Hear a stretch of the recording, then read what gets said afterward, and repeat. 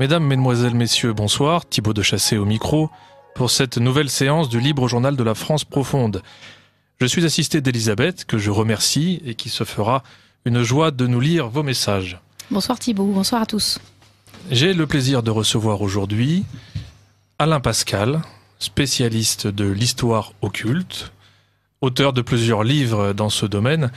Alain Pascal, vous êtes un habitué de cette euh, émission, mais vous êtes présent ce soir à un titre très particulier, puisque votre dernier ouvrage, le sixième, vient tout juste de paraître.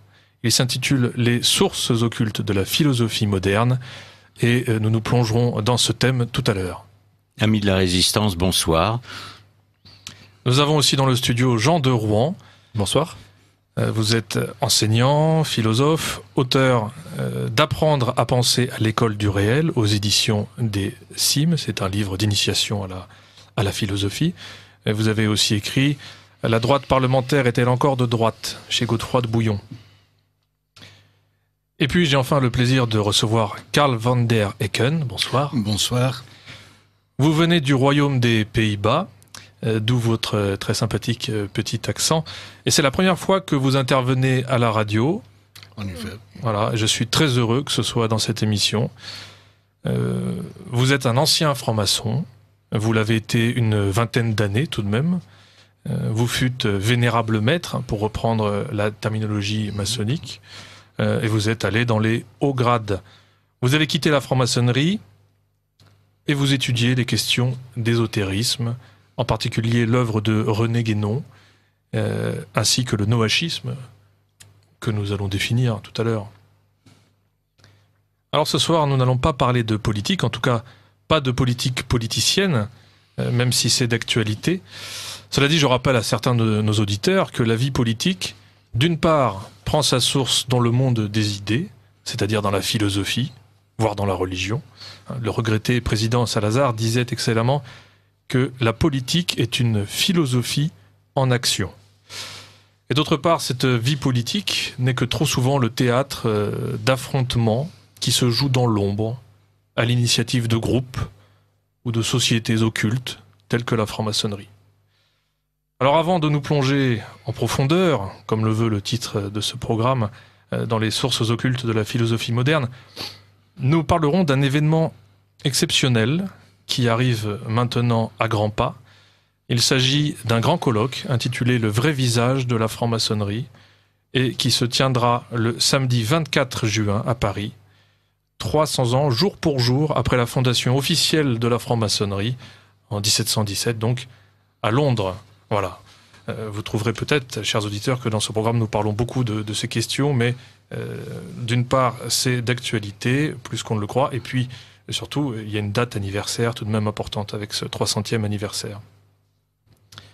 Alors, pour commencer, euh, je voudrais, Karl van der Ecken, que vous vous présentiez un petit peu aux auditeurs de Radio Courtoisie, qui sont bien sûr invités à nous faire part de leurs remarques ou de leurs questions tout au long de cette émission, si bien sûr ils l'écoutent en direct, hein, c'est-à-dire le, le 8 juin. Euh, Jean-Baptiste, que je remercie chaleureusement au passage, se fera un plaisir de prendre vos messages téléphoniques, chers auditeurs. Alors Karl van der Ecken, vous êtes entré en maçonnerie au tout début des années 80. Dans quelle obédience, si vous êtes d'accord pour le dire? Oui, la Grande Loge de France. La Grande Loge de France est la loge La Grande Triade qui avait été fondée par René Guénon. Fondée par René Guénon euh, lui-même. Alors, puis-je vous demander pourquoi vous êtes entré dans, dans la maçonnerie et dans cette loge en particulier? Euh, c'est en 77 que j'ai fait connaissance avec l'œuvre de René Guénon, euh, La crise du monde moderne. Son livre le plus connu. Euh, René Guénon, rappelons brièvement qui, qui, c'est pour nos auditeurs qui le, qui le méconnaissent. Bon, il est né à Blois en 1886 et il est mort en 1951, me semble-t-il, ou 52, au Caire. Il avait quitté la France dans les années 30 définitivement et il n'est jamais revenu. Je pense aussi qu'il s'est mis à l'abri, mais c'est toute une autre histoire. D'accord. En tout cas, mmh. euh, il se présente, il s'est présenté, on le présente comme un, penseur traditionnaliste, hostile au monde moderne. Mais évidemment, il a une certaine idée de la tradition euh, qui n'est pas tout à fait la même euh, que la tradition catholique, par exemple. Hein. Quand on parle chez les catholiques de tradition avec un grand T, ce n'est pas tout à fait la même chose. Il a eu un parcours assez étonnant. Il a été une production euh, importante bon, dans les questions ésotériques. Hein, c'était, c'était son truc, si je puis dire. c'était un agnostique, franc-maçon, et il a été catholique à un moment, en tout cas officiellement. Officiellement, me semble-t-il. Oui, Et puis, il a fini. il s'est converti à l'islam. Voilà, c'est un... Une tendance particulière, Soufi, c'est ça? Bon, en fait, il s'en défend, non Il ne s'est jamais converti puisque c'est comme les roses croient, en quelque sorte. Il est au-dessus de toute euh, tradition particulière. Euh, en tout cas, René Guénon a marqué euh, pendant des décennies, et continue d'ailleurs de le faire, une grande partie de, de la hum. droite euh, je dirais, de la droite radicale, euh, de la droite réactionnaire, et, mhm. aussi une partie du monde catholique euh, conservateur. Bon, c'est un, vaste sujet. Oui. Oui, en fait, j'étais surtout séduit par sa logique qui, en fait, n'est pas une logique réelle, mais plutôt une logique mathématique, symbolique, comme Leibniz d'ailleurs. et d'ailleurs, ils sont assez proches, même s'il a critiqué euh, bon, même l'erreur a sa logique propre. Hein. Donc, euh, euh, bon, bref, j'étais séduit et je ne possédais pas les éléments pour juger, pour voir la chose. En plus, peut-être, je ne cherche pas d'excuses, mais avec l'encyclique Nostra Aetate, je croyais aussi que l'hindouisme, dont il parle beaucoup, il a écrit des livres là-dessus, euh, que, tout était à peu près au même plan. Euh, voilà. Ce qui n'est plus du tout le cas actuellement. Mais bon, il y a donc 30 ans, 40 euh, ans, j'étais vraiment séduit par, par cette logique, en quelque sorte, mathématique, qui est un concept euh, qui est produit, c'est une production mentale. Hein. je ne sais pas si vous connaissez son symbolisme de la croix, c'est une sorte de projection euh, des états multiples, gnostiques, dirais-je maintenant, de l'être. Et euh, c'est très proche de Descartes. Euh, on peut absolument appeler Guénon le Descartes de l'ésotérisme. Ah et, Guénon a, fait, a répandu cette idée qu'il y a une unité transcendante des différentes religions qui, pour schématiser, hein, découlent toutes ou recèlent toutes les traces d'une tradition primordiale. Voilà. Alain Pascal, vous vouliez intervenir. Oui, tout, tout, le problème est là, c'est de savoir quelle est la tradition primordiale. Et euh, dans le cas de la franc-maçonnerie, on peut considérer que c'est l'hermétisme, l'alchimie et l'hermétisme, donc la tradition hermétique, et qui n'est pas en vérité historiquement la tradition primordiale. Donc ce qu'il faut dire aussi sur Guénon, c'est qu'il a un grand pouvoir de séduction, y compris euh, dans des milieux catholiques, et que c'est extrêmement dangereux.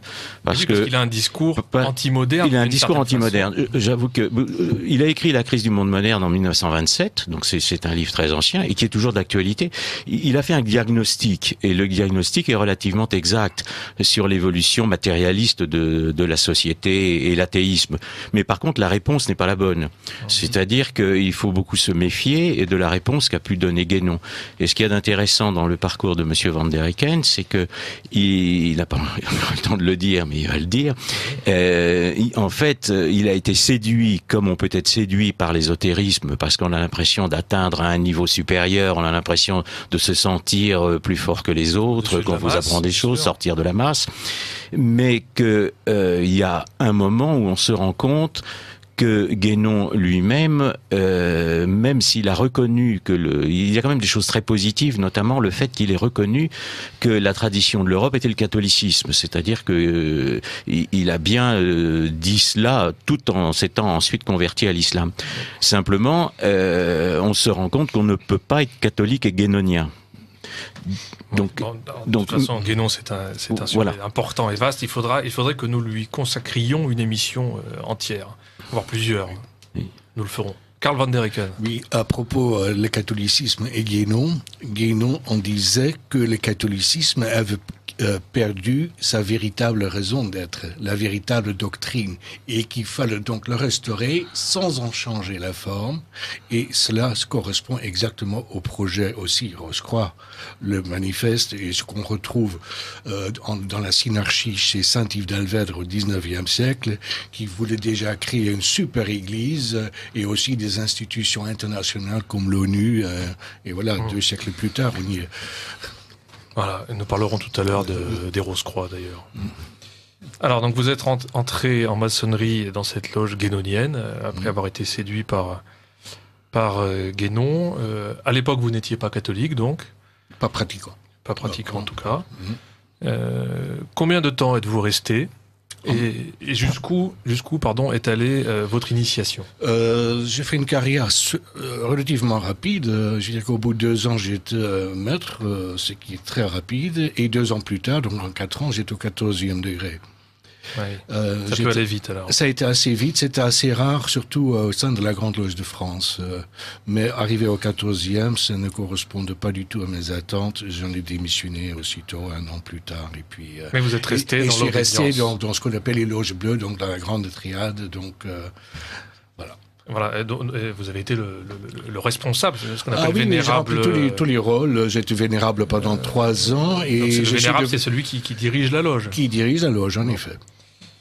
Euh, Et, et d'ailleurs, quelle est la, parti- la particularité de la Grande Loge de France par rapport aux, aux autres grandes obédiences les plus connues, comme le Grand Orient ou la Grande Loge nationale française? En tout cas, sur le, à première vue, sur le papier. Oui, bon, euh, avec le Grand Orient qui s'affiche en général euh, républicain, Oui. et- anticlérical, oui. là, on ne peut pas se tromper. On sait au moins à qui on a affaire.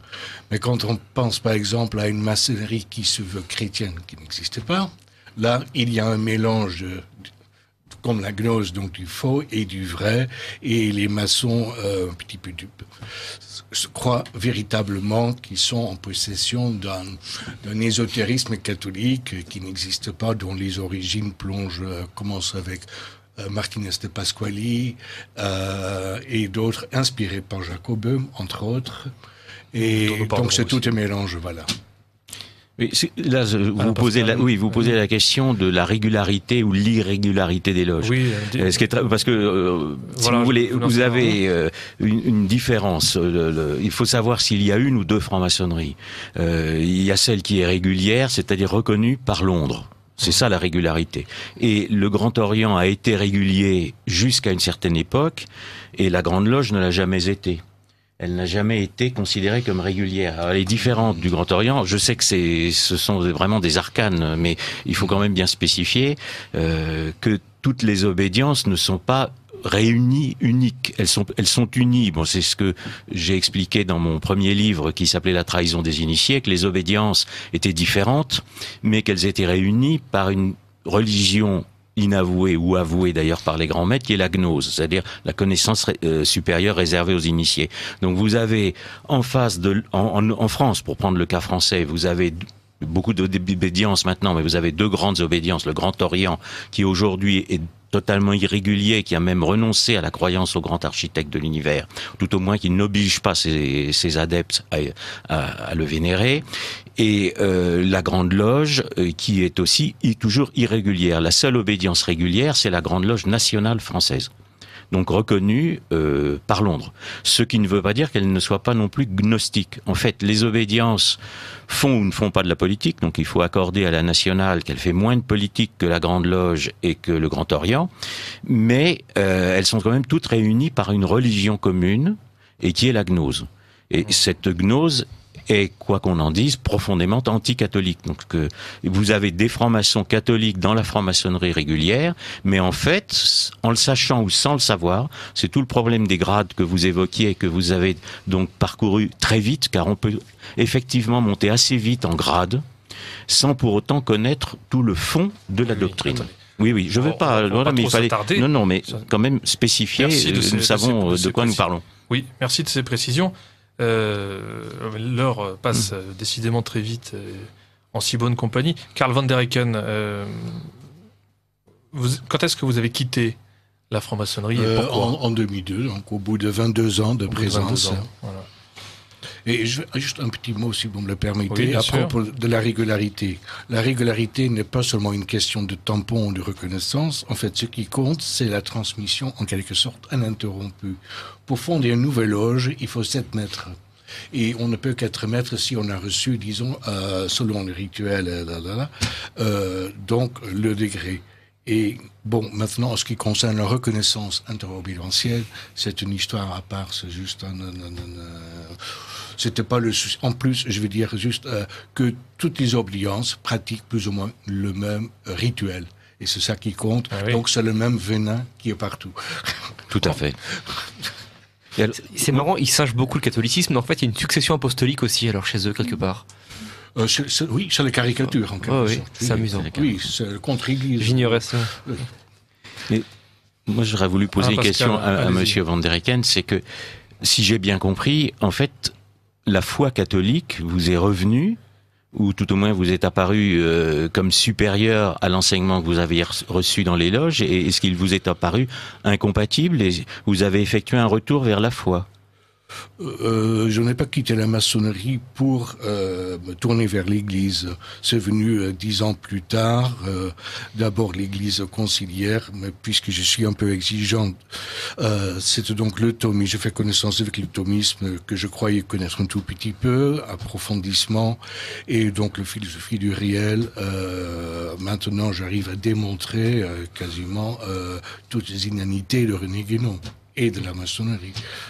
Alors vous êtes maintenant un catholique euh, traditionnel, voilà, comme on dit. Euh, oui. Traditionnel, pas dans le sens guénonien, évidemment. Oui. Euh, quels, quels sont les, les thèmes sur lesquels vous vous, penchez actuellement? Actuellement, privilégiez? Je lis énormément, donc euh, beaucoup de théologie, euh, mais aussi toute l'histoire du monde, euh, la gnose, la maçonnerie, les livres d'Alain Pascal, par exemple. Merci. Et, euh, Vous étudiez toujours Guénon? Vous travaillez non, toujours je, sur Guénon? non, juste pour le, dé, euh, pour Oui, le bah, vous critiquer. travaillez dessus, Oui. oui, bah, bien sûr. travaillé longuement, j'ai connu toute son œuvre, y compris un, mille pages de correspondance. Je ne les rouvre plus, mais j'ai plus ou moins tout, tout dans la tête. Oui, quand j'ai vous besoin êtes de la un- référence, je sais où ça se trouve parce que j'ai tout en PDF. Euh, Vous êtes un, oui, un fin connaisseur de, de Guénon, c'est très intéressant, il faudra que nous en reparlions. Et, et vous vous intéressez aussi, donc, comme je disais en préambule, à la question du, du noachisme. Est-ce que vous pouvez définir un peu ce, ce que c'est? Mais le noachisme, c'est euh, la volonté euh, de dominer le monde par une religion unique. euh, Une volonté euh, kabbaliste, quoi, peut-être Kabbaliste, oui, oui, kabbaliste, oui, mais ou talmudiste peut-être aussi, si on peut faire la, la distinction. Mais le messianisme a en fait accompagné, je dois même dire que même les apôtres, après euh, l'ascension, entre l'ascension et le Pentecôte, il n'y avait que dix jours, qui croyaient encore, c'est dans les actes, que le Messie allait être un roi, un roi d'Israël. hein. Donc, donc je dirais que c'est une histoire qui est là quand même depuis 2000 ans, qui a peut-être porté différents noms, mais on, euh, le messianisme, je pense que c'est pas apparu avec le nom du noachisme, mais est bien là déjà depuis 2000 ans, sous une forme ou une autre. Euh, Bon. Si, si je peux définir un peu. Alain Pascal, Oui, le, le vous aussi, noachisme- vous étudiez cela. Euh, Oui, bien sûr. Euh, en fait, c'est rattacher toutes les religions à Noé. Donc, il- ça n'a pas de sens du, du plan, du, sur le plan chrétien. C'est-à-dire pour le christianisme, ça ne veut rien dire. Mais c'est effectivement vis-à-vis du judaïsme rattacher toutes les autres religions à Noé. Toutes les religions pourraient se référer à Noé, donc ce serait des descendants de Noé qu'on pourrait réunir. Donc vous auriez euh, une religion juive qui demeure et les autres religions euh, qui seraient réunies dans une sorte d'œcuménisme euh, descendant de Noé. Donc c'est voilà, pour faire simple, c'est- c'est un projet de, cer- de certaines élites euh, juives euh, pour les non-juifs. Oui, Un elle, religieux elle a les- une incidence puisqu'on parle de l'histoire de la franc-maçonnerie et qu'on en parlera peut-être au colloque que vous annoncez. Mais il y a eu, bon, la, maçonnerie a donc été fondée en 1717 et en 1738, alors en 1723, pardon, d'être très bref, mais vous avez des constitutions qui s'appellent les constitutions d'Anderson, euh, qui sont le texte fondateur de la franc-maçonnerie dite spéculative. Euh, peut-être préciser aussi ce Oui, que ça veut dire. Oui, euh, il y a eu une opérative qui avait construit la cathédrale, qui était en désuétude depuis longtemps, et la forme nouvelle de la franc-maçonnerie qui a été maçons. fondée en 1717, elle est spéculative ou moderne, hein, si on peut employer ce terme. Et euh, vous avez donc en 1738, donc je, je passe un certain nombre d'étapes, pour la première fois une addition, notamment en France, qui s'appelle l'addition noachique. C'est-à-dire que dans les constitutions d'Anderson, euh, le maçon avait un certain nombre d'obligations, et là on ajoute qu'il doit respecter la religion noachide, sans autre précision sans autre précision. Euh, et ce que l'on ne sait pas non plus, c'est 1738, il y a effectivement euh, la première condamnation de l'Église, et euh, l'Église inclut les Juifs dans la condamnation. Alors on ne sait pas si l'Église a eu connaissance ou pas de cette addition noachique, mais la première condamnation est de la même année. Voilà. Là, sur le, le- le principe. Ce qu'il y a d'intéressant dans la religion noachique, c'est un peu une des sources de l'œcuménisme. C'est-à-dire, c'est une façon de, de rassembler, de- d'effacer tous les dogmes pour Ouais. euh, rassembler toutes les religions dans une sorte de magma d'une religiosité, ce qui va concerner aussi le sujet des Rose-Croix, c'est-à-dire une religion qu'on appelle une religion du cœur et, pas, et une religion sans dogme. Et l'œcuménisme actuel, la dérive de l'œcuménisme, y ressemble fortement. D'accord. Karl van der Eycken. Oui, euh, je constate aussi qu'il y a sept commandements, donc, et qui n'ont rien à voir avec les dix commandements, de Moïse. Donc, il n'y en a que sept. Pour le noachisme. Pour le noachisme, euh, il faut être très bien avec les animaux. Il faut, euh, c'est assez simple, hein, c'est simpliste. euh. Et euh, il y a aussi l'arc-en-ciel parce que Noé, il y a l'arche. Et à un moment donné, il y a l'arc-en-ciel qui apparaissent donc avec les, six couleurs ou sept couleurs si vous préférez avec la lumière blanche. Et euh, on trouve l'arc-en-ciel actuellement partout. C'est-à-dire que tout ce qui est gay, euh, etc. et même le pape François s'est fait un plaisir parfois d'en mettre sur la tête. euh, Et, et les maternelles sont euh, aujourd'hui euh, peintes avec les couleurs de l'arc-en-ciel. Donc c'est un, un drapeau auquel on habitue les enfants dès leur plus jeune âge.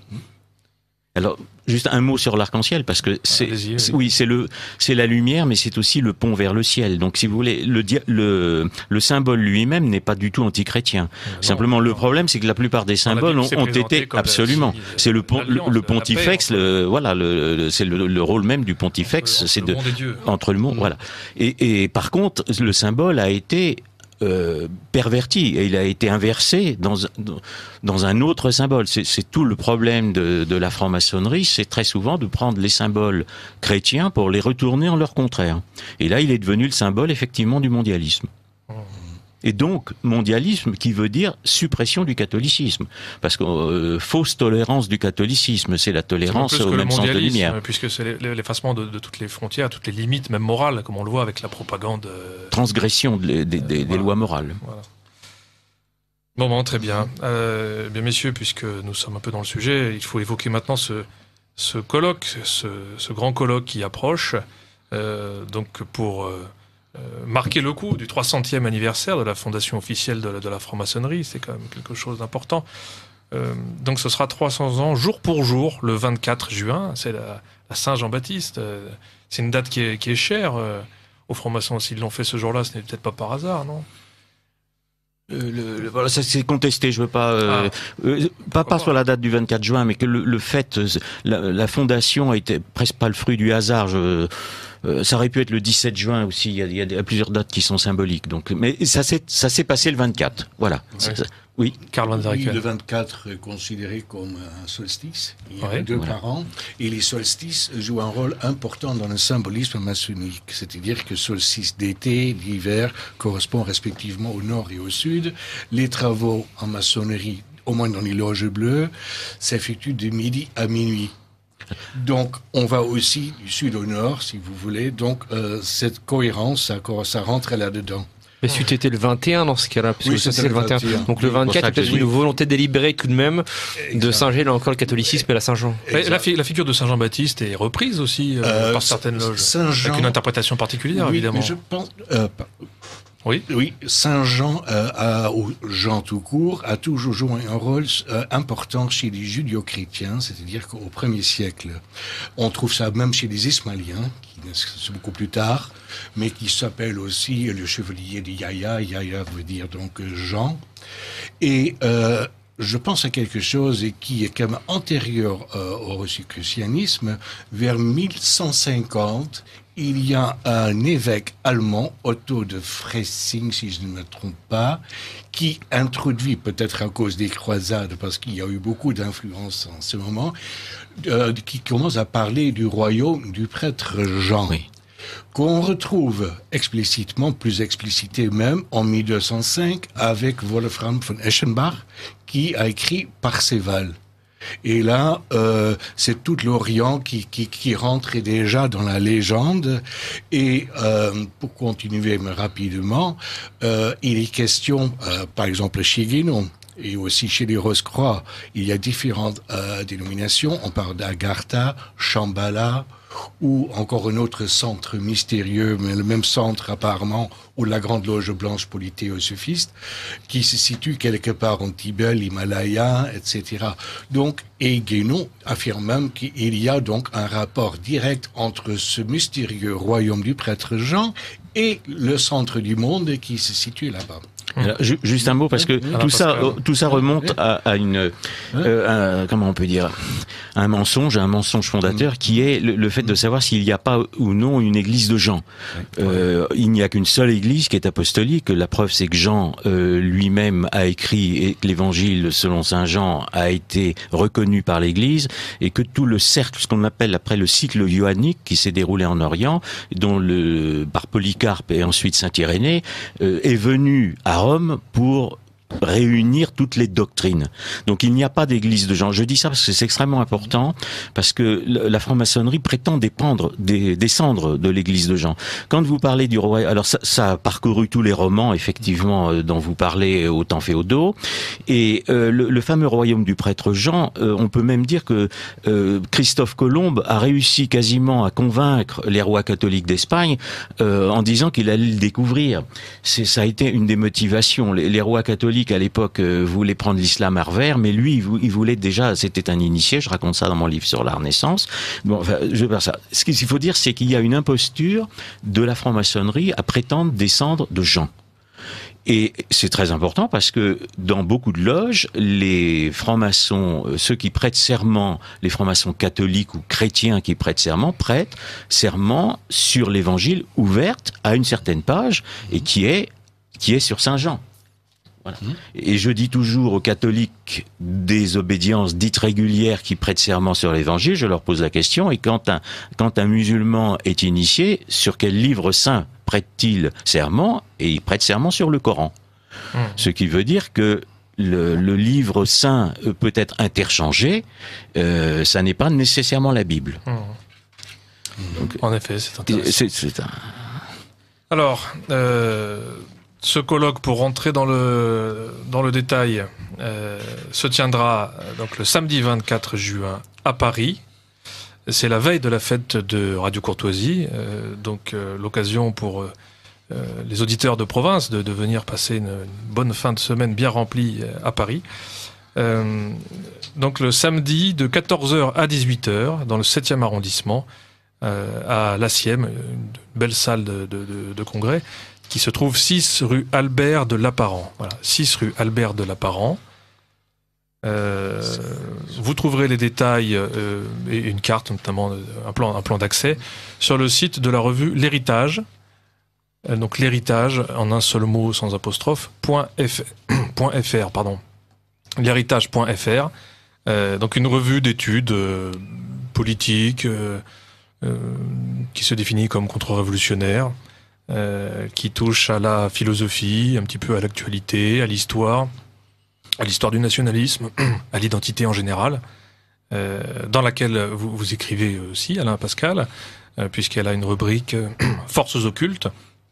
Dans le prochain numéro qui doit sortir dans environ une semaine, il y aura aussi un entretien avec Karl van der Ecken. Et puis nous retrouverons un, un grand article de vous, vraiment euh, très très intéressant. un, un article sur la, la fondation, en, en partie sur la fondation justement de 1717 à l'initiative des Rose-Croix, dont on reparlera tout à l'heure de cette secte et des croyances de cette secte.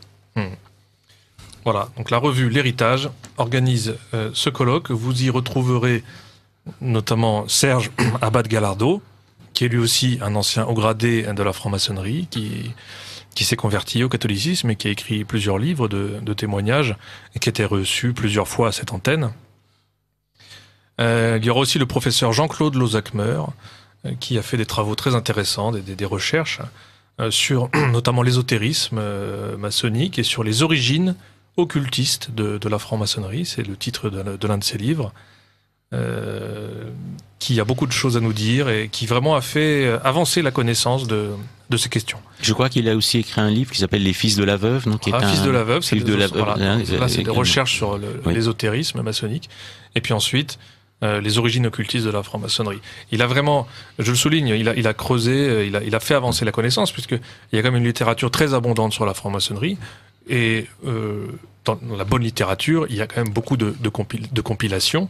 Euh, c'est utile, mais c'est bien aussi parfois d'avoir des livres qui creusent et qui font avancer la connaissance. C'est aussi le cas, Alain Pascal, euh, de, de- de vos livres, en particulier de- du premier qui s'intitule La trahison des initiés, donc qui est consacré à la franc-maçonnerie. Je donnerai juste le sous-titre qui est euh, du combat politique à la guerre de religion. Parce que derrière l'intervention politique euh, des francs-maçons, euh, je décèle la véritable guerre de religion qui se déroule sur trois siècles. Voilà, chers auditeurs de Radio Courtoisie, profitez de la, de la venue à Paris euh, du professeur Jean-Claude Lozakmer. Euh, Il ne se déplace pas, pas souvent. Voilà, vous pourrez lui poser aussi vos questions. Hein, donc il y a aussi donc euh, Alain Pascal, comme comme je l'ai dit, euh, Karl van der vous serez là aussi. Euh, vous nous parlerez euh, euh, bien de votre expérience et puis de euh, de, de vos connaissances sur euh, sur ce sur ce sujet. Il y aura d'autres invités. Euh, nous parlerons. Euh, Enfin, nous aurons l'occasion d'entendre des interventions sur euh, les origines de la, de la franc-maçonnerie, sur euh, la question de savoir s'il s'agit d'une religion, s'il y a un aspect religieux derrière la franc-maçonnerie. Nous aurons donc plusieurs témoignages. Nous parlerons aussi du symbolisme. Euh, nous nous poserons la question de savoir s'il y a plusieurs francs-maçonneries. Euh, les différentes obédiences euh, sont-elles vraiment si différentes que cela? Peut-on être franc-maçon et chrétien, etc. L'action politique de la franc-maçonnerie. Bon, nous tâcherons de faire un peu le tour de, de la question à travers ces, ces différentes interventions. Puis il y aura aussi une, une table ronde et des échanges avec le public. Les participants pourront euh, faire parvenir leurs questions aux différents intervenants. Il y aura un peu de, de débat, de discussion. Et puis il y aura aussi euh, la possibilité de, de se faire dédicacer les livres hein, des différents auteurs qui seront là. Il y aura d'ailleurs de nombreux livres euh, sur, sur, sur ce sujet qui seront mis à la disposition euh, du, public. Voilà, je crois que j'ai un peu tout dit. Ah, le prix, il est de, euh, de, de 5 euros. Voilà, le prix de la place est de 5 euros seulement, c'est quand même très modéré. On peut les prendre à l'avance pour être sûr d'en avoir sur le site donc, de l'héritage, hein, je rappelle, l'héritage.fr, ou alors se présenter directement euh, sur place à 14h, 14h, 6 rue Albert de Lapparent, euh, le 24 juin. Voilà. Je vous invite vraiment, chers auditeurs, à, euh, venir profiter de, cet événement exceptionnel avant de nous retrouver le lendemain euh, à la fête de Radio Courtoisie. D'ailleurs, nous allons passer tout de suite un petit bobino à ce sujet.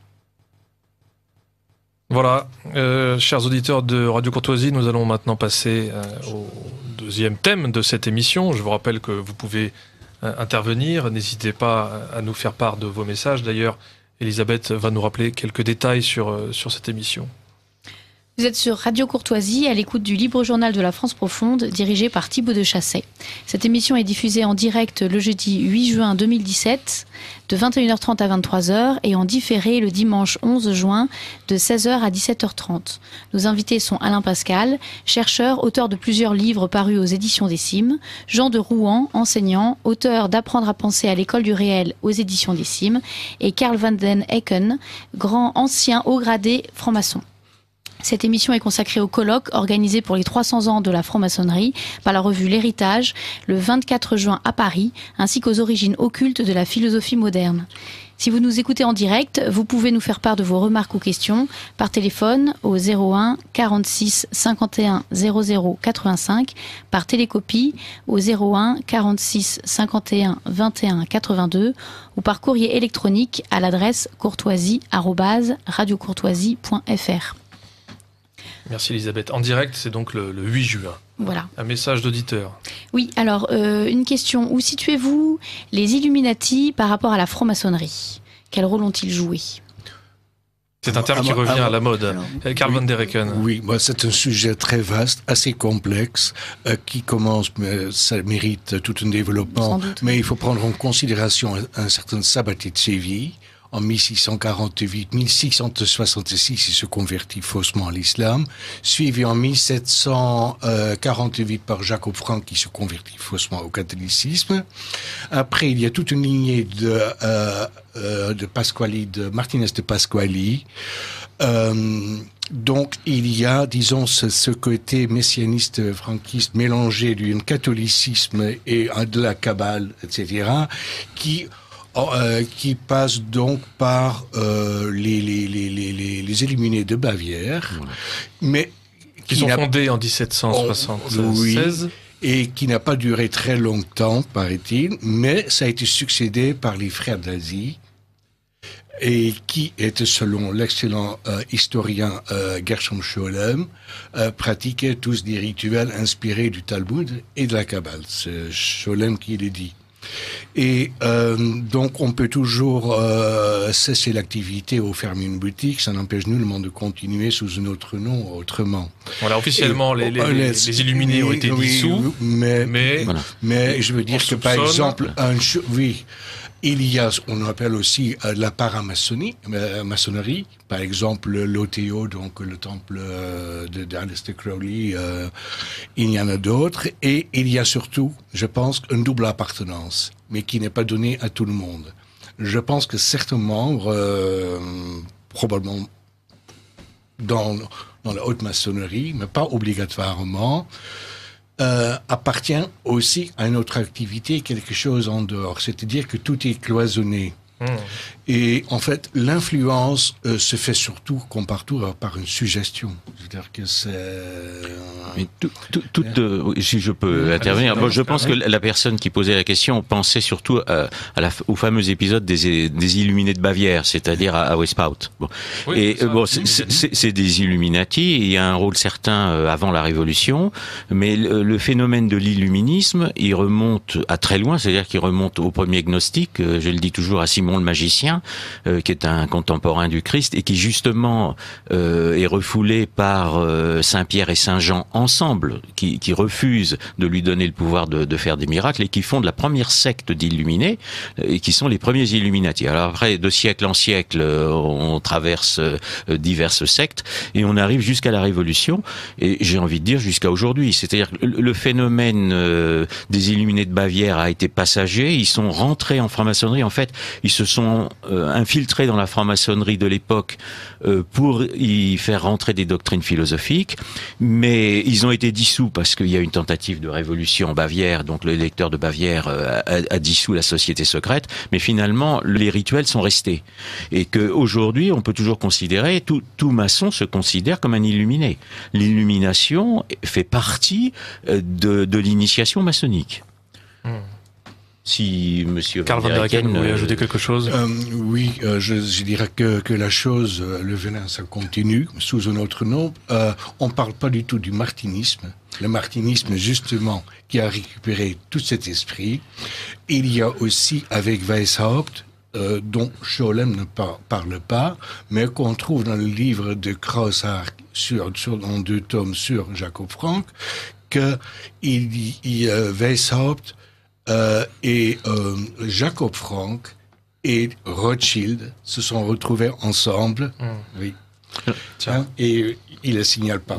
Je, je, fais et... un résumé de, de cet épisode-là dans mon livre qui mmh. s'appelle La trahison des initiés. Donc, ouais. si les gens, on va pas, c'est pas le sujet d'aujourd'hui, mais c'est pour répondre à la question de, de Madame sur les illuminés de, de Westport. C'est un, c'est un sujet récurrent. Voilà. Oui, bien sûr. Voilà. Et, Et juste un petit mot. Oui. Euh, le martinisme, il y avait, comment il s'appelle, euh, Blanchard, Victor Blanchard, qui est le chef du martinisme. C'est lui qui était aussi à la tête de la synarchie entre les deux guerres. Hmm. Et il était co-signature, euh, co-signataire d'un pamphlet avec René Guénon. Tiens. Voilà. Un bouclé bouclé. Voilà. Elisabeth. Oui, moi je voudrais poser une question euh, euh, donc à Carl van den. Euh, que euh, qu'est-ce qui vous a fait quitter la franc-maçonnerie en précisément en fin de compte du coup? Ben, en fait, euh, ça ne correspondait pas vraiment à mes attentes. Je veux dire que mes attentes étaient un petit peu plus élevées. Et euh, je suis resté, euh, peut-être par faiblesse ou peut-être parce qu'on se fait des copains, comme on dit. On, euh, voilà. Et la loge n'était pas très très très nombreuse, avait du, du mal à fonctionner parce qu'il faut 10 personnes présentes pour fonctionner. On était inscrits 15 ou, ou 18, mais pas tout le monde était là. Il y en avait des frères qui habitaient assez loin. Donc, quitter, et en plus, j'étais considéré comme un petit pilier, peut-être sans trop mes. Donc, je pouvais pas me permettre, je, je, je voulais Vous pas vous sentiez un peu obligé. Voilà. Voilà, voilà. D'accord. Mais j'avais un bon ange gardien, donc euh, voilà. Deo gracias. me suis aussi sorti euh, vivant. Et ce sont plus des, des, comment dire, des questions philosophiques ou euh, spirituelles qui ont été le ressort de votre euh, sortie, de, qui ont été les plus déterminantes pour. euh, Non, c'était plutôt la nullité intellectuelle. Abel Bonnard avait dû dire ça, c'était une organisation de médiocres oui. qui voulait faire croire qu'elle avait de l'élévation. Bon, passons maintenant au nouveau livre euh, d'Alain Pascal. Euh, donc le sixième hein, d'une longue série. Euh, il y a d'abord eu La trahison des initiés, donc sur la, la- la franc-maçonnerie. Ensuite, il y a eu le cycle de la guerre des gnoses, hein, avec quatre euh, volumes. Oui, c'est l'histoire de la gnose à travers les siècles, donc en, en quatre volumes. Rap- Rappelez bah, Pascal, la vous plaît, gnose, euh, la gnose d'ailleurs. Voilà, euh, connaissance, on veut simplement la connaissance réservée aux initiés. Donc c'est un mouvement qui naît et qui est euh, contemporain de, de, de l'enseignement du Christ et, et qui se glisse dans les vêtements du christianisme pour le subvertir de l'in- de l'intérieur ou de l'attaquer de l'extérieur. Donc euh, Pas que dans le christianisme, euh, d'ailleurs. La, la gnose. enfin, oui, et, et, la l'autre aspect, c'est de, de dire que le salut peut être obtenu par la connaissance et une connaissance qui est non pas obtenue, euh, qui n'est non pas euh, conforme à la révélation, mais qui est obtenue contre Dieu. C'est-à-dire que c'est une sorte de révolte déjà de, de l'être humain euh, contre Dieu, Gnose qui veut dire euh, connaissance. qui veut dire connaissance en lui-même. Donc Voilà, euh, il y a le quatre, salut par la connaissance et une connaissance réservée Voilà. donc à quatre des tomes, les, premiers siècles, la gnose à travers l'islam, donc euh, dans le livre Islam et Kabbale contre l'Occident chrétien, Oui. Gnose à travers la Renaissance, dans le livre qui s'appelle La Renaissance, cette imposture, où je dénonce la Renaissance, Mmh. et à travers la Réforme, la Réforme, cette révolution, qui était le dernier tome de la guerre des Gnoses. Et j'entame un nouveau cycle pour Un les cycle, lecteurs euh, patients, Euh, voilà, un nouveau cycle qui. qui va s'appeler La conspiration des philosophes. conspiration des philosophes. Oui. Ça fait un petit peu peur. Jean de Rouen, vous-même qui êtes philosophe, j'espère que vous n'êtes pas trop mal à l'aise. Euh, Pas du tout. il, me, il me tarde de le, de le lire parce que malheureusement, j'ai pas, pas pas eu encore eu encore de le lire, mais il vient tout juste de sortir. il vient de sortir. Euh, donc les sources euh, occultes de la philosophie moderne, sous-titré de la gnose à la théosophie. Alors nous venons de rappeler ce qu'est la gnose, et pouvez-vous, Alain Pascal, nous dire ce qu'est la théosophie? Bah, littéralement, c'est la sagesse de Dieu. C'est ce que ça veut dire, la- l'accès à la connaissance de la sagesse de Dieu. Mais en fait, il s'agit d'une initiation ésotérique, évidemment, euh, qui ne peut pas être pratiquée par un chrétien, c'est tout le problème de la théosophie où on a dit qu'il y avait une théosophie chrétienne, mais il y a des impossibilités qui sont à la fois d'ordre métaphysique, parce qu'un théosophe prétend pénétrer euh, la nature euh, comme le corps de Dieu. Alors vous savez que pour nous dans le, christianisme, euh, la métaphysique euh, est dualiste, c'est-à-dire qu'il y a l'être de Dieu et l'être du monde et que la nature n'est pas le corps de Dieu. Donc déjà c'est une première incompatibilité. Et la deuxième incompatibilité, c'est que pour pénétrer cette nature, le théosophe a recours aux sciences occultes. Donc notamment la magie, la magie donc euh, dont j'ai parlé déjà avec Simon le magicien, qui est toujours un terme actuel, c'est-à-dire que le, le, le, le footballeur euh, qui gagne un million d'euros par mois, quand il euh, marque un but, euh, on lui pose la question, il dit c'est magique. Voilà. Donc Ouais. euh, Bon, en tout cas, c'est vrai qu'il y a une vulgarisation de la magie, bah il y a un petit un petit sorcier pour les enfants, de voilà, ça, entre autres. voilà. Donc c'est toujours d'actualité. Et- Anagramme et de la théosophie, voilà, en, soi-même, la théosophie, alors elle porte des noms différents, c'est-à-dire justement euh, dans le judaïsme, c'est le mot de kabbale, donc qui est la, la tradition, et la kabbale est théosophie. C'est-à-dire moi j'emploie, après vous parliez tout à l'heure de, de, de, de Scholem, qui est un, un grand kabbaliste reconnu, parce que les gens ne le connaissent pas nécessairement, Non. mais qui employait euh, le terme de kabbale théosophique. Les, les deux mots doivent être liés. La kabbale est une théosophie, donc c'est une euh, une science euh, une, une science occulte pour connaître la sagesse de Dieu, et elle est en même temps une numérologie, c'est-à-dire que à partir des, des lettres euh, ou des, des chiffres Les lettres On- ont une valeur numérique. ont une valeur numérique. Voilà, la, la science ésotérique du nombre. Donc, euh, Les qui- nombres veulent dire quelque chose. voilà, Voilà, qui, concerne, voilà, qui concerne l'histoire de la philosophie, parce que le premier philosophe ésotérique, très antérieur, c'est Pythagore. Pythagore, bien Et. Pythagore, qui, qui, qui a été condamné parce qu'en fait, il avait rejeté la religion grecque euh, pour une science des nombres, ce qui avait fait absolument scandale euh, à l'époque. Ouais.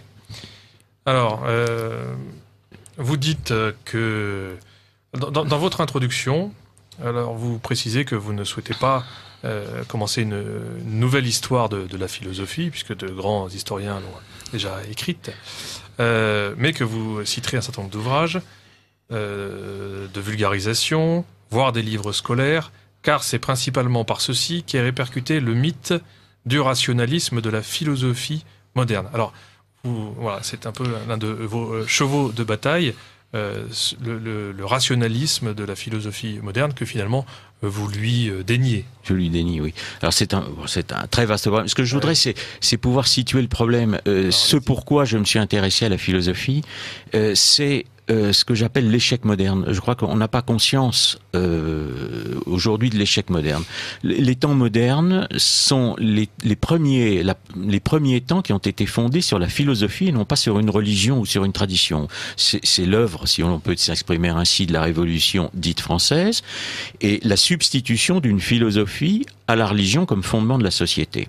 Et donc nous vivons les temps modernes, et euh, moi je suis un homme de la deuxième moitié du XXe siècle, donc un petit peu plus âgé que vous, euh, j'ai été horrifié par le XXe siècle. Il faut à cause de la philosophie, c'est-à-dire que à cause notamment du matérialisme, du matérialisme athée, plus de 200 millions d'êtres humains ont été sacrifiés sur un siècle. Ce sont des chiffres absolument considérables dont on ne parle jamais. Et on ne relie jamais euh, cette barbarie à la philosophie. Donc moi, ma première interrogation, ça a été de, de me dire philosophie moderne. Je vais préciser ça pour Jean de Rouen, parce que Oui, c'est très intéressant parce que on peut remonter évidemment à Descartes, hein, que vous citez, je crois que vous évoquez dans votre livre, Oui. parce que c'est l'un des premiers à comment dire à bousculer vraiment l'ordre traditionnel en philosophie, c'est-à-dire que la la métaphysique avant qui était une connaissance désintéressée, qui était euh, une connaissance qui était voulue pour elle-même, euh, devient une connaissance euh, utile chez Descartes puisque elle est le point de départ de, de, de toute connaissance, mais non pas le sommet ni le terme de la connaissance humaine. Et c'est la physique qui mérite d'être exercée pour Descartes, euh, précisément à cause des, comment dire, des, des, des avantages et de l'utilité qu'elle apporte aux hommes. Donc ce qui est intéressant, c'est de voir que désormais, eh bien, on a une volonté, il le dit Descartes, hein, il faut euh, maîtriser euh, la nature, hein, devenir maître et possesseur de la nature. C'est ce projet finalement qui exprime une volonté de domination qui va se substituer à la connaissance contemplative. Hein, et à il y la a- religion. et à la religion, absolument. Il y a un triomphe de la, de la subjectivité ici comme appétit finalement, comme volonté de domination et de conquête. Hein, c'est vraiment un espèce de nouveau feu prométhéen qui apparaît et qu'on retrouve Et- déjà d'ailleurs. euh, Et, et euh, qui est, avant Descartes. euh, en plus, qui est euh, fondé en ce qui concerne Descartes. Bon, Descartes, je n'en parle pas dans ce livre-là, je- j'en parle très peu. J'en parlerai dans le prochain, qui s'appellera Le siècle des Rose-Croix, parce que Descartes a été très proche des Rose-Croix. Et il fonde euh, sa philosophie sur une science ou sur une pseudo-science. C'est-à-dire qu'en fait, il fonde sa philosophie sur la première science de Galilée ou de Francis Bacon, qui sont en fait des, des alchimistes. et euh, ou des ésotéristes du chiffre. Donc c'est pour ça que je dis la, la, la philosophie moderne n'est pas du tout celle que l'on croit, c'est-à-dire que ce n'est pas du tout un progrès de la raison basé sur la science mmh. avec Descartes, c'est au contraire une perte de raison, c'est-à-dire un renversement, alors là je vais l'expliquer un petit peu plus, de ce qu'était le rationalisme avant, c'est-à-dire le rationalisme scolastique fondé sur la, tradition chrétienne, en un rationalisme qui est moderne, c'est-à-dire qui est le fruit du sujet pensant, qui n'est plus fondé sur l'objet lui-même, et qui est fondé sur une pseudo-science, c'est-à-dire une science ésotérique qui ne connaît pas en fait réellement la matière notamment dans le cadre des Parce qu'il y a aussi, c'est intéressant, une négation. C'est-à-dire que la scolastique et toute la tradition philosophique européenne, qui s'enracine d'ailleurs dans la Grèce antique, euh, fait confiance en l'intelligence. Euh, fait confiance en l'intelligence qui est faite pour la vérité et qui, lorsqu'elle s'applique à cette recherche avec soin, avec sérieux, avec méthode, finit toujours par aboutir, par parvenir à quelques connaissances vraies. Et ce qui caractérise beaucoup la philosophie moderne, c'est précisément cette méfiance. D'ailleurs, on, le voit chez Luther aussi et chez les protestants, pour qui, euh, contrairement aux catholiques, euh, le péché originel n'a pas simplement euh, blessé la nature, mais l'a corrompu, si bien que euh, l'intelligence n'est plus capable de parvenir à, son objet. Et donc il y a finalement une, on postule dans la philosophie moderne cette inaptitude de l'esprit humain à connaître le réel. Et à partir du moment euh, où il y a cette rupture entre l'esprit humain et le réel, eh bien, c'est euh, dans la conscience du sujet que va naître le processus de connaissance. C'est-à-dire qu'à partir de ces contenus de conscience, ces idées, ces catégories, eh bien, le sujet va reconstruire le monde euh, qu'il veut, euh, qu'il prétend étudier. Et, et c'est une révolution religieuse parce que à partir de ce moment-là, on considère que le monde est construit par le sujet pensant, par l'être humain, et il n'est plus un donné à la connaissance par l'être créateur de la matière qui est Dieu. Je, euh, euh, si vous voulez, c'est la théorie de la connaissance qui est très importante. Tout ce qu'on appelle l'épistémologie est, est, inversée par Descartes. Euh, voilà. et, et si vous voulez, qui était la rupture, qui en principe est idéaliste, mais vous avez déjà dans Descartes le matérialisme. Il est aussi l'entête du, du cartésien. Attendez, attendez. Oui, pardon, du, du matérialisme. Et ce que moi, si vous voulez, ce qui m'a intéressé, ce pourquoi je suis un anti-moderne, c'est-à-dire je suis pas contre le progrès technique, évidemment, je suis contre la philosophie moderne, c'est que le matérialisme a perdu toute notion du réel. Contrairement à ce que vous nous, ce qu'on veut nous faire croire, le monde actuel est totalement irrationnel, irraisonnable. Il y a qu'à voir la façon dont les gens pensent, s'ils pensent encore, ou votent, pardon du terme, sur des critères qui sont complètement irrationnels, et que nous ne dominons plus la matière. Donc le but de la science était de dominer la matière, mais le but de la science moderne, la science moderne a complètement échoué. Aujourd'hui, nous ne dominons plus les mécanismes. Pourquoi? Parce que notre monde est fondé sur une philosophie qui est complètement utopique. Et pour expliquer, pardon, euh, mmh, Thibault de Chasset, cette utopie, je remonte aux sources occultes de la philosophie moderne.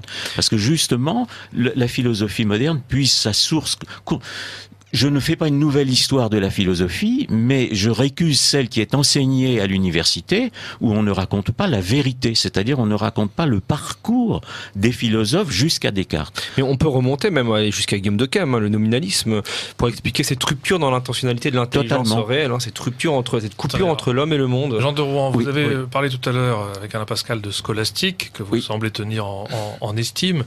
Pouvez-vous euh, rappeler aux bah, auditeurs ce, La scolastique, hein, ça veut dire le scola, l'école, hein, c'était euh, euh, comment dire l'enseignement universitaire tel qu'il était dispensé au Moyen Âge, qui a culminé au XIIIe siècle avec Albert Le et, saint Thomas d'Aquin.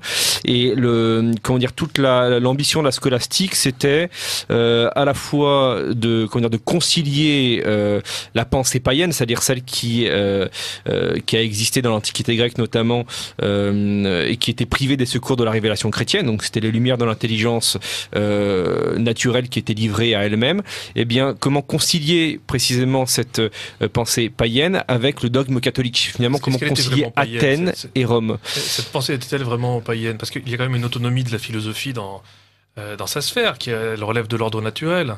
Absolument. Distingue de, de, la, religion. Tout à fait. tout à fait. Philosophie, euh, la, philosophie doit-elle être influencée par la religion? Alors, euh, ce qui est, intéressant en effet, c'est que les, lumières naturelles de l'intelligence, on parlait, on parlait tout à l'heure d'une distinction entre le catholicisme, c'est vrai, le protestantisme, c'est que euh, nous catholiques, nous, nous admettons que l'intelligence certes est blessée, mais qu'elle peut néanmoins parvenir à son objet, qu'elle peut découvrir la vérité. C'est une des raisons pour lesquelles on peut manifester avec certitude l'existence de Dieu, avec les seules lumières de la raison naturelle, donc sans les secours de la révélation chrétienne alors que par exemple chez, chez, chez, euh, les protestants, qui professe le fidéisme, hein, on ne peut connaître Dieu que parce qu'il se révèle à nous.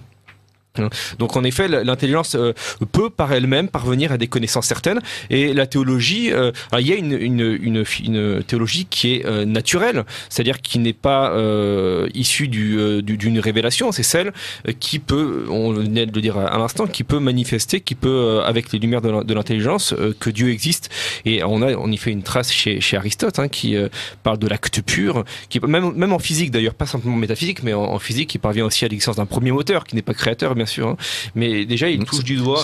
Et on peut même revenir euh, à Anaxagore, parce que saint Thomas d'Aquin disait que c'était Anaxagore le premier hein, qui avait justement, euh, euh, qui était parvenu à la sagesse avec le nous, hein, l'esprit déjà. Donc il, y a chez les Grecs mais déjà cette, enfin là où l'intelligence pouvait parvenir par ses seules lumières, et bien, bien les, Grecs, les Grecs qui sont d'ailleurs saint Paul va voir à Athènes les Grecs leur dit mais ce Dieu inconnu là auquel vous êtes parvenu, et eh ben il s'est révélé. Voilà, c'est Jésus-Christ. Et donc quelque part, il y a, il y a, vraiment une continuité, mais euh, il y a pas. Voilà. mais, la, la foi a besoin de la raison comme la grâce a besoin de la nature.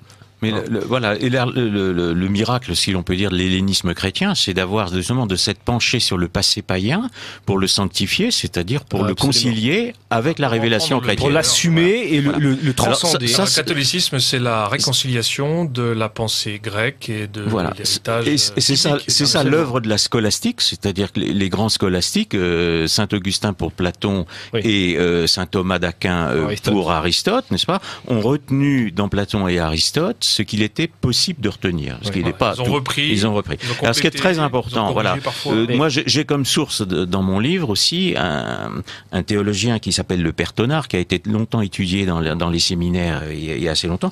Et, je vais simplement dire euh, le citer parce que c'est très important. L'époque moderne, quant à l'esprit de la philosophie, se distingue nettement de l'époque chrétienne, au point d'en être comme l'antithèse. On peut la caractériser d'un mot révolution antiscolastique, et il a mis ces mots en majuscule. Donc c'est bien de cela qu'il s'agit lorsqu'on est au XVIIe siècle, de faire une véritable révolution contre la sanctification du passé païen par la, philosophie chrétienne, si l'on peut employer cette expression.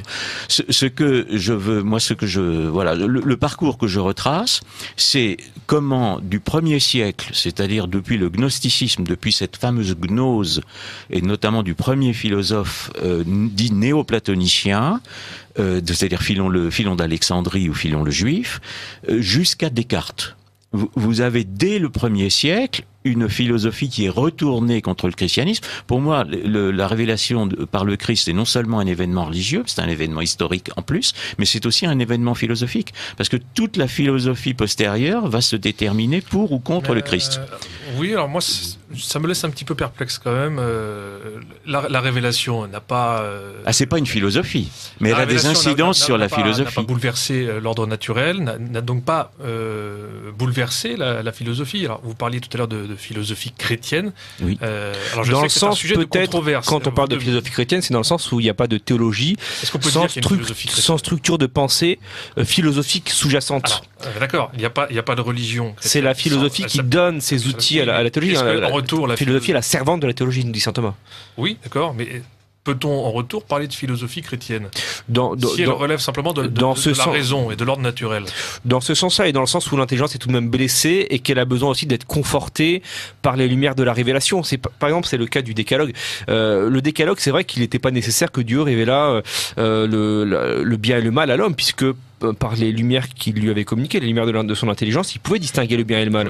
Mais par le péché originel, en effet, la, conscience était obscurcie euh, par le péché euh, et le discernement était altéré par par ce péché et donc il était nécessaire que ici les lumières de la révélation viennent conforter les lumières de l'intelligence, un peu comme une plante qui a besoin d'un tuteur pour grandir. C'est plus de, dans ce sens-là. Bon. Et, oui, allez-y. Ah, Carl van der Eycken, vous vouliez dire quelque chose Oui, je voulais dire juste un petit mot à propos de Saint-Augustin, oui. que, j'estime beaucoup. Euh, il, est passé quand même il a passé une dizaine d'années euh, chez les manichéens. Oui, ah bien sûr. Et il a écrit à la fin de sa vie ses rectifications en latin, où, dans lesquelles il dit explicitement qu'il ne voulait plus rien savoir des platoniciens ou de hmm. Platon. Il dit explicitement. Alors, là, pour reprendre, rebondir sur Descartes, euh, chez euh, Platon, il est question donc des âmes pré-créées. Ce qui n'est pas du tout euh, catholique. Il y a très peu de euh, choses qu'on puisse retenir chez Platon. Et, hein. et Oui, pardon, donc, bon. qui sont donc euh, devenus euh, prisonnières euh, dans, par leur corps, en quelque sorte. C'est la même chose qu'on retrouve chez Descartes, parce qu'il dissocie totalement l'individu, donc l'indivisible entre corps et âme. C'est comme euh, l'âme était un pilote d'un bateau de quelque chose qui pouvait descendre et laisser son corps ailleurs. C'est c'est complètement dissocié. Je veux dire que euh, et, et il n'y a pas d'âme créée corps parce que on passe forcément par euh, les cinq sens pour alimenter Ouais, du point de vue euh, catholique, euh, euh, l'âme et la forme du corps, et les deux euh, sont créés Oui. en même temps. Jean de Rouen. Oui, je voulais juste chose re- revenir sur ce que je, je disais à, à l'instant là tout à l'heure, euh, quand on parle de philosophie chrétienne. Alors, euh, premièrement, donc ça je l'avais dit, euh, c'est parce que en effet il y a toujours une pensée philosophique qui est sous-jacente à la théologie. Euh, ensuite, c'est parce que les lumières de la, de la révélation doivent conforter, c'est vrai, une intelligence qui est blessée par le péché, Euh, mais c'est aussi parce que euh, euh, le- le- les lumières de l'intelligence, quand elles sont livrées à elles-mêmes, ne peuvent pas forcément. Enfin, il y a des choses auxquelles elles ne peuvent évidemment pas parvenir et qui peuvent euh, également avoir une incidence euh, dans, dans une structure de pensée. Et je pense notamment à Aristote qui était prisonnier d'un paradigme grec hein, selon lequel l'univers était éternel. Bah, bien sûr, c'est Mais c'est vrai que les lumières dans l'intelligence livrées à elles-mêmes ne peuvent pas déterminer si l'univers était créé à un moment ou s'il est éternel. Et donc quelque part, ça, ça comment dire, euh, certes, il professe l'éternité de l'univers, mais euh, néanmoins, ça n'a pas d'incidence sur sa pensée. Mais c'est vrai que justement, avec l'avènement du christianisme, euh, saint Thomas, qui est le commentateur euh, d'Aristote, hein, notamment, mais peut corriger cette euh, Voilà. cette erreur. En fait, bon il- on a Et, besoin et- et de... ce qui est très important, c'est de savoir, on, on en est donc à saint Thomas, c'est que après vous avez tout un mouvement de renversement du thomisme, c'est-à-dire toute une lutte contre le thomisme qui va aboutir à la philosophie moderne.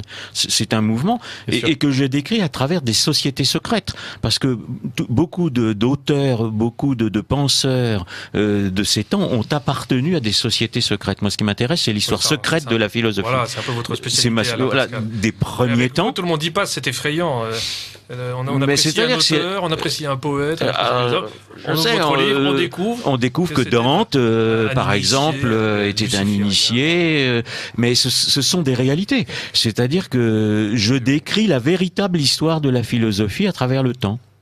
On l'a- C'est un peu un résumé de, de, de l'histoire de la guerre des Gnos que j'avais fait sur la, la première partie. Mais euh, il y a des sources occultes à la philosophie moderne. Ça n'est pas du tout un progrès de la raison. C'est l'aboutissement de la guerre des Gnos, c'est-à-dire c'est l'aboutissement, la- le, le renversement de la société, la société chrétienne. Et ce- le, le- la deuxième partie de ce livre, euh, qui, qui est aussi quelque chose de, que l'on ignore, euh, donc j'ai failli faire des études de philosophie que j'ai arrêté vu ce qu'on voulait m'apprendre, mais euh, le, on dit toujours que la philosophie moderne est fondée par Descartes. Non. Parce que déjà, en tant que rupture à la théologie, elle est le fait d'Averroès et de Maïmonide, qui sont déjà du XIIe siècle, qui rompent la première rupture avec la théologie. Et ensuite, au niveau de l'idéalisme philosophique, l'idéalisme n'est pas fondé par Descartes, il est fondé par un théosophe qu'on ignore, qui s'appelle l'idéalisme moderne, j'entends, Oui. pas l'idéalisme euh, ancien. Oui, parce hein. que c'est vrai que c'est difficile. Moi, je ne, je ne Oui. dirais pas de Descartes qu'il est nécessairement idéaliste. Je dirais que sa démarche est idéaliste parce qu'à partir du moment où il a disqualifié l'expérience sensible qui nous mettait en contact avec le réel, eh bien, il doit procéder des idées pour aller pour déduire l'existence du monde extérieur. C'est-à-dire que le seul matériau à sa disposition qu'il puisse utiliser, à partir du moment où ses sens ne le mettent pas en contact avec le réel, ce sont ses idées.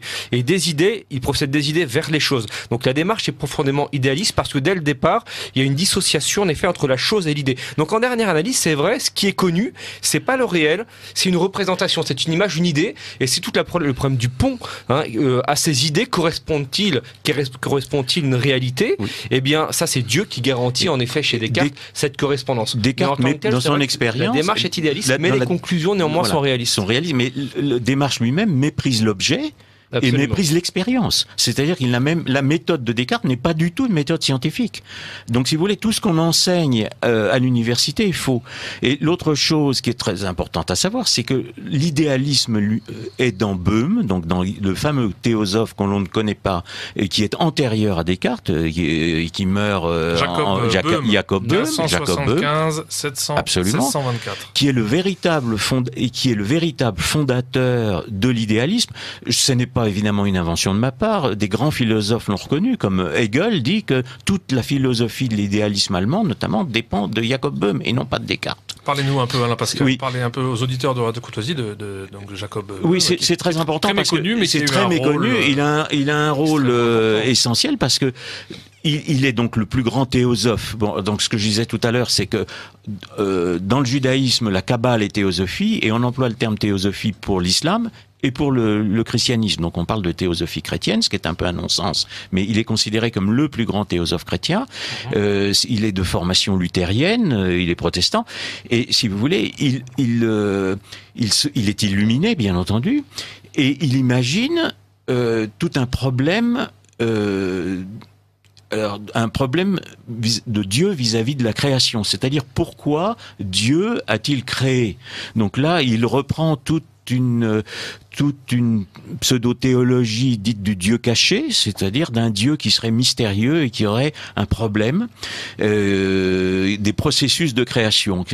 Et si vous voulez, ça a l'air de rien, bon, ça a l'air de, choses complètement euh, de divagation, mais il euh, il fonde sa philosophie sur ce qu'on appelle un spiritualisme, c'est-à-dire l'esprit, un esprit qui est un esprit cosmique, pour lui non pas un Dieu euh, créateur, mais un esprit interne au cosmos, et qui Immanent, dont, dont, la, dont, la, dont la matière est une émanation et un reflet. Donc pour lui déjà il n'y a pas de, matéri- de matière. La matière n'est qu'un reflet de l'esprit. Alors évidemment ce sont des, divagations, mais c'est exactement ce que l'on retrouve dans Descartes. Panthéisme? Oui, c'est un panthéisme. C'est un panthéisme. Donc, si vous voulez, et il est antérieur à Descartes et il est le, le véritable fondateur de la philosophie moderne. C'est très important parce que lui, étant un illuminé, il est ouvertement euh, ça, irrationnel. il est illuminé? Ça voulait Alors- dire donc il a été initié dans une société. il est illuminé par des rose-croix. C'est-à-dire que, euh, comment on va définir ça Euh, Les rose-croix, euh, c'est un vieil ésotérisme qui est un- une compromission d'un ésotérisme dit chrétien avec un ésotérisme musulman. Et euh, Fondé par. C'était fondé par qui Quand? Oh, puisque M. Van Christian der Eycken Rosen- va me... Ah oui, mais alors Rosenkreuz, si vous voulez, le mouvement Rose-Croix, en fait, existe antérieurement à l'officialisation du mouvement Rose-Croix. Donc les sociétés, Rose- euh, le- les manifestes Rose-Croix, ce qu'on appelle des manifestes Rose-Croix, ils dévoilent qu'il y a une société secrète qui s'appelle Rose-Croix, en référence à un fameux Rosenkreuz Question. euh, Christian Rosenkreuz, c'est un personnage légendaire, mais peut-être moins légendaire qu'on ne croit. C'est quelqu'un qui a été initié en Orient à la philosophie musulmane et à la Kabbale euh, au Maroc, et qui, aurait, qui vient fonder en Europe une société secrète. À partir de 1622, euh, ces sociétés secrètes sont officielles dans l'Europe entière, et elles vont avoir une influence considérable sur la philosophie. Ouais, donc, que, euh, puisque pour en revenir à la franc-maçonnerie, Ah bah, on retrouve et- le, le- le lien. Euh, donc, le- si vous voulez, le un siècle plus tard, quand on arrive à franc-maçonnerie. 1717, euh, on arrive à la fondation, c'est évidemment toute ma démarche, évidemment, suit une logique, on arrive à la fondation de la franc-maçonnerie, après une période que l'on appelle de la mutation euh, de la franc-maçonnerie dite euh, opé- opérative, celle qui avait construit la cathédrale, qui était désuète, en spéculative, et cette mutation est accomplie par des rose-croix, par des, des initiés qui sont acceptés dans les loges. Donc les, les francs-maçons opératifs acceptent dans leurs loges des spéculatifs. Et ce sont ces, donc notamment Elias Ashmole, euh, Robert Boyle, euh, qui euh, même Comenius, bon, qui est un, un Rose-Croix. euh. alors ces gens-là, évidemment, on les connaît très peu, mais il faut savoir que par exemple, dans le, à l'UNESCO, ils avaient le buste de Comenius, de, Comenius dans le dans l'entrée. Hein.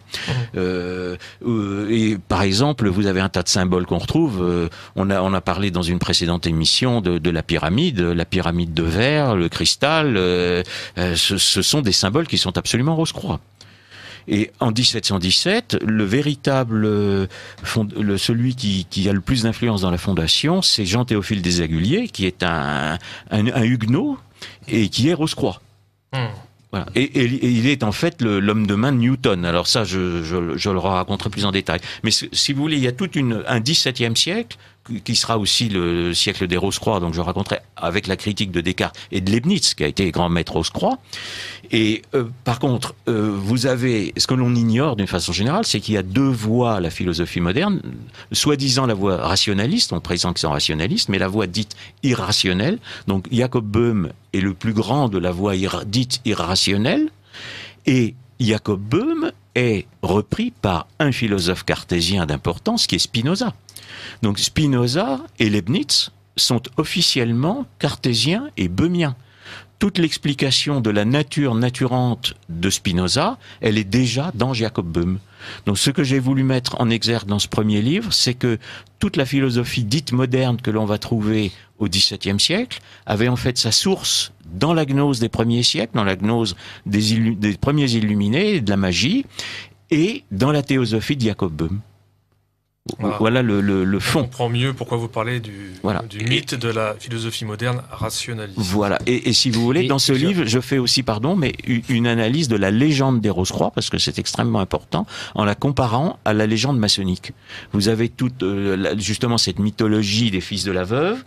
Euh, il y, y, a tout un mouvement, il y a toute une tradition, une invention d'une tradition, euh, la référence à Hiram, euh, qui est très connue.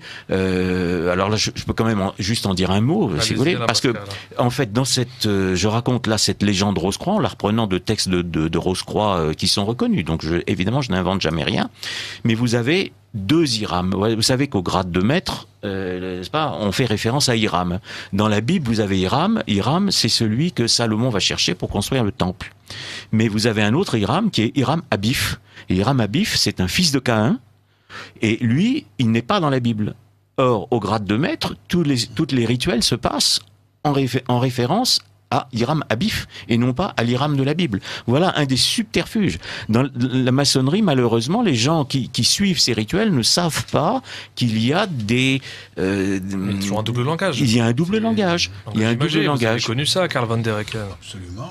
Et je peux La langue des oiseaux. Je peux rajouter que le mot de passe au grade de maître est tubelquin. Tubelquin.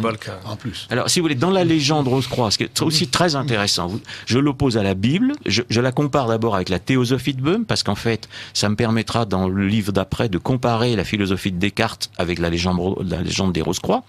Mais euh, il y a une, euh, il y a le, le, la vie de l'humanité, le, le, début de l'humanité raconté d'une façon totalement différente de la Bible.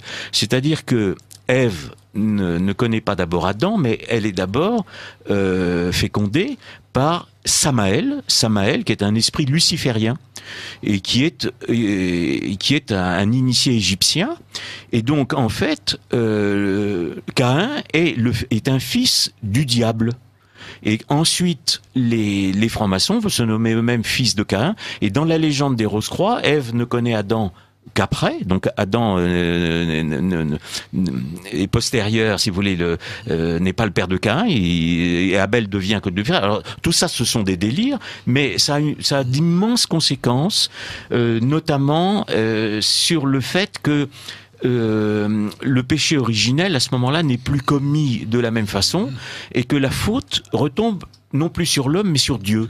Dieu devient coupable du mal. C'est toute l'inversion, si vous voulez, de, de, de, la théologie chrétienne euh, à laquelle cette, cette légende Rose-Croix procède. C est, c est, je décris tous ces mécanismes parce qu'il est extrêmement important que Dieu soit déclaré coupable du mal, parce qu'à ce moment-là, on va supprimer Dieu pour sauver l'humanité.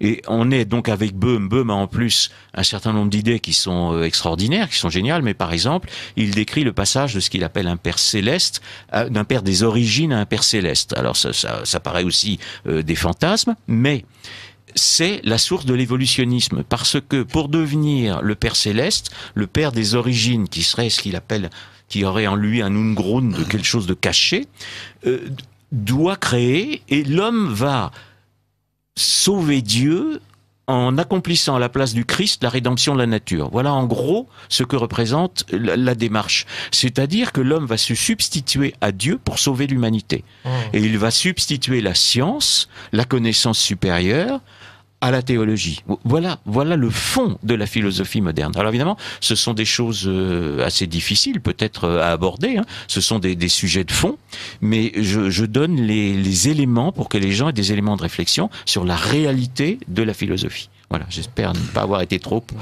Je dis pas obscur parce que je vise à la lumière et non à l'obscurité.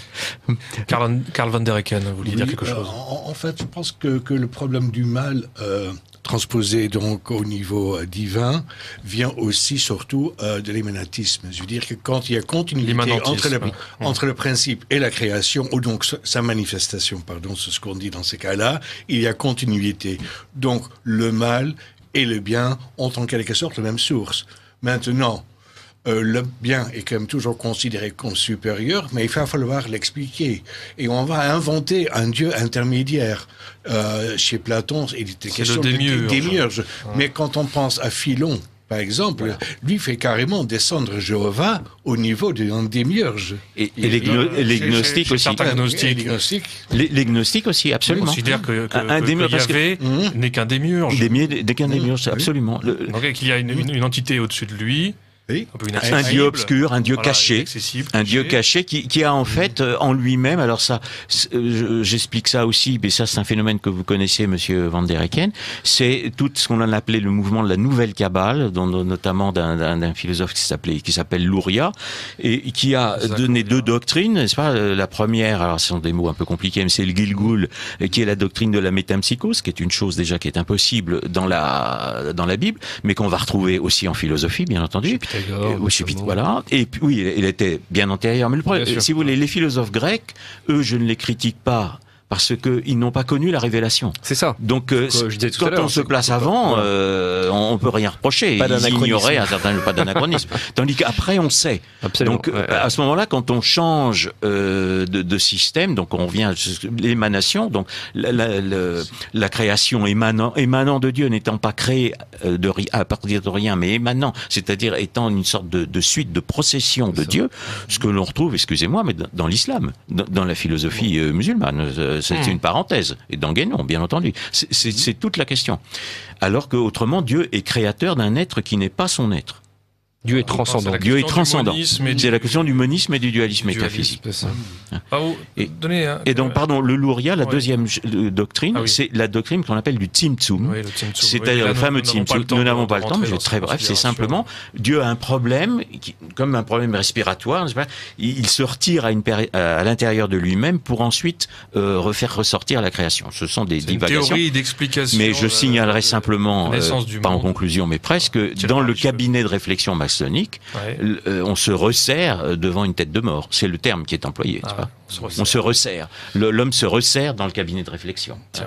Karl van der Eycken, vous voulez je dire pense quelque chose qu'avec Luria, euh, il y a juste une variante sur, un- un- un- un- sur quelque chose de très classique. C'est mais il fait quand même intervenir la violence, parce que la lumière est prisonnière des vases, des clipotes ou des écorces, selon les traductions. Oui. Et donc chaque être humain est aussi, par son corps, une sorte de vase qui doit libérer euh, sa lumière par la force, c'est ce qui se passe symboliquement par un coup de main, mais sur le front, au, euh, au grade de maître, en maçonnerie, et par une application, disons, politique, euh, il faut tout détruire pour, euh, Voilà. pour Il- tout raser, pour, pour, pour, pour, pour que les choses, le monde renaisse, en quelque sorte.